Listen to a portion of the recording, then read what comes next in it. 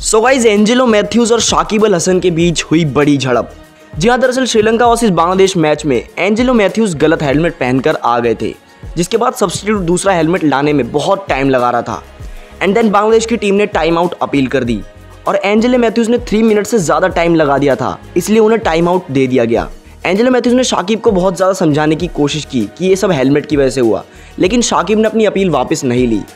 क्या ये शाकिब ने सही किया? मुझे कमेंट्स में ज़रूर बताना।